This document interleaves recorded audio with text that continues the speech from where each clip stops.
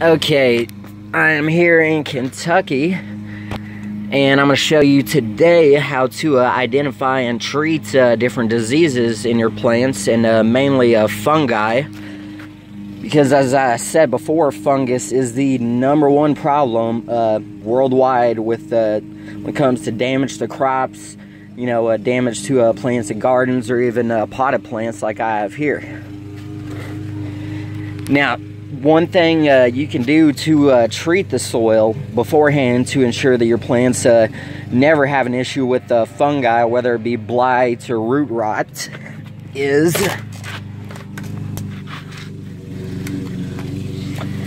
the uh, Actinovate right here. And this is a completely organic uh, biological fungicide, as you can see right there and that's the uh, good bacteria that's in it right there.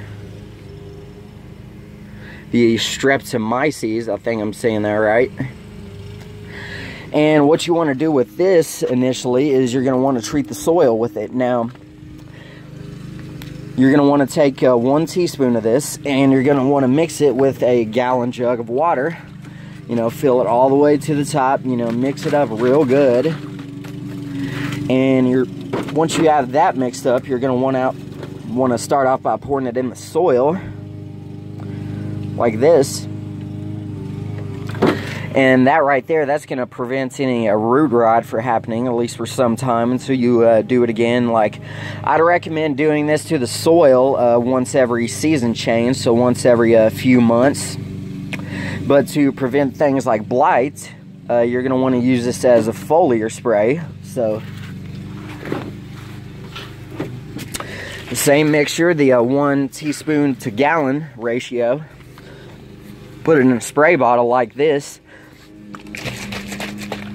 And now this is only preventative.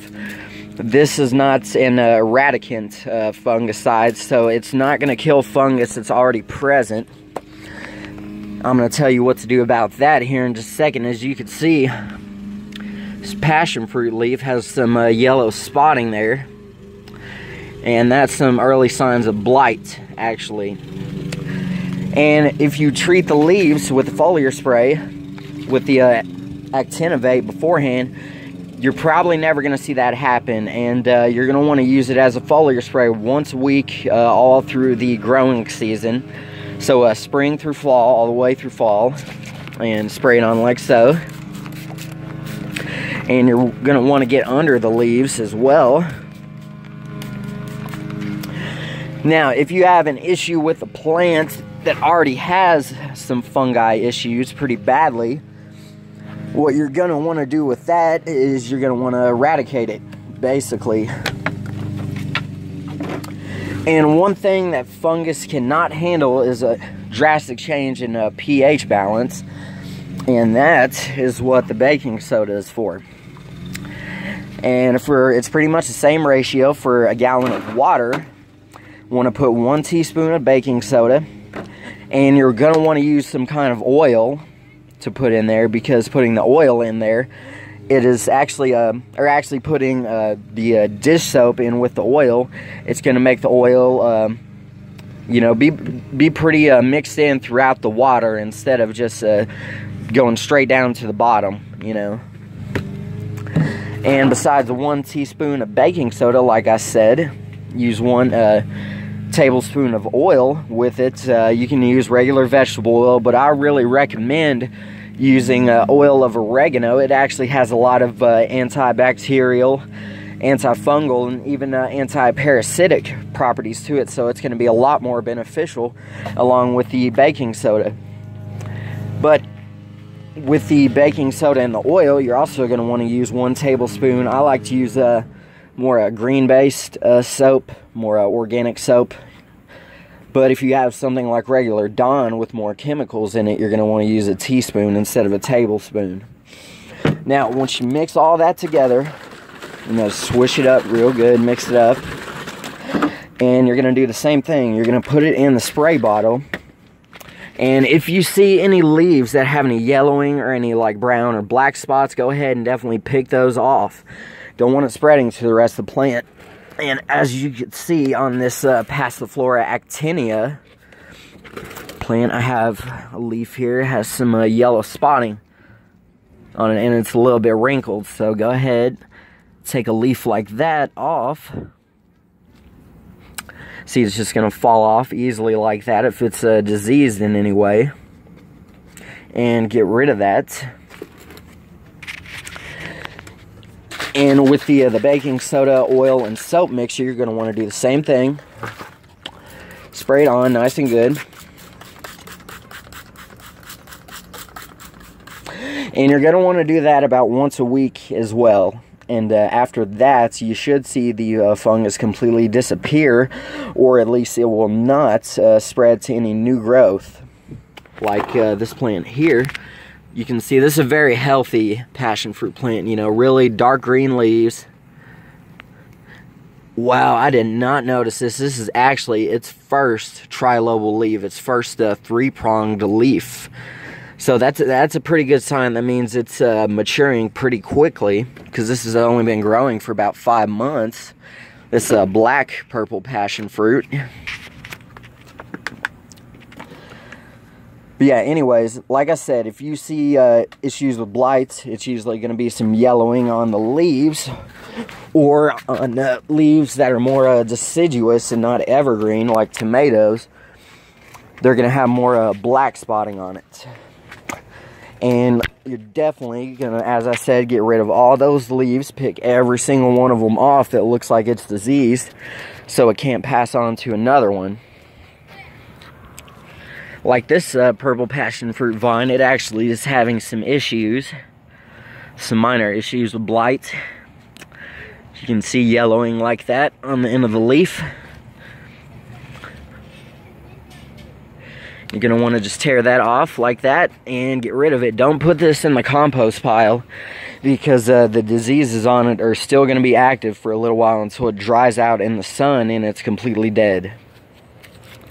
So after you've taken every single one of those steps, you should see a lot of really good improvements. Actually, you can use the uh, the baking soda mixture uh, before you notice uh, your plants are diseased at all as a, a uh, preventative measure. And as you can see, like this tomato plant is extremely healthy. Dark green leaves, it's grown huge. Nice blossoms on it.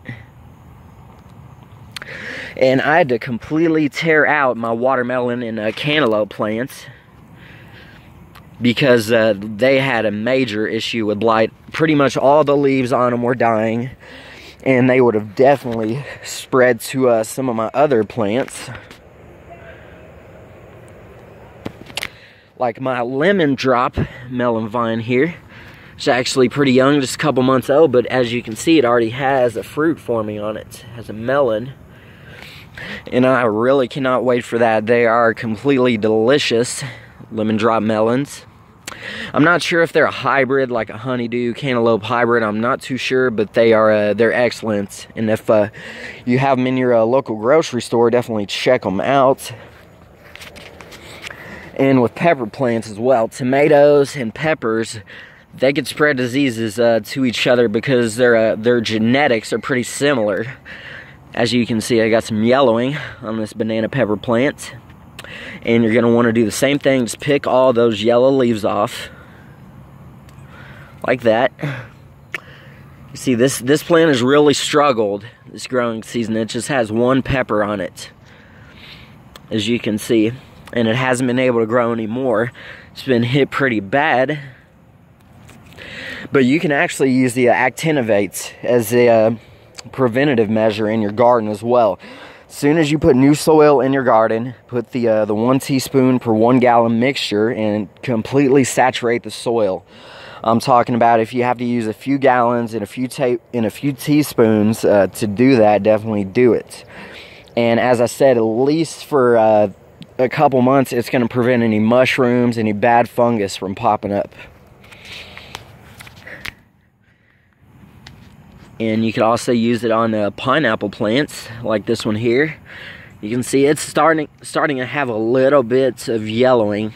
So uh, And as I said, I went ahead and pulled my watermelon and uh, cantaloupe plants out. If you see plants that are just beyond repair, like that, you know, that are, you know, ha that have all of, the, all of its uh, foliage completely dying, you definitely want to just pull those out. And I know sometimes it's hard, you know, to pull up plants you love. You know, you want to give them a chance, you want to see them fruit and all that, but sometimes you have to make those hard decisions.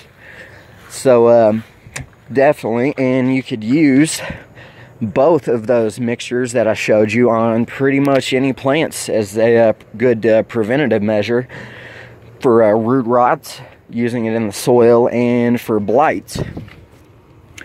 And hopefully, it'll work out well for you, and you'll have some really nice, healthy plants, and they will fruit really well for you. Anyways, until uh, next video, thank you guys for watching. I hope this was uh, pretty helpful to you and I will definitely be posting some more soon. And this was uh, Jon's Tropical Garden. Just hit the uh, like button or comments if you want, and uh, see you later. Thanks.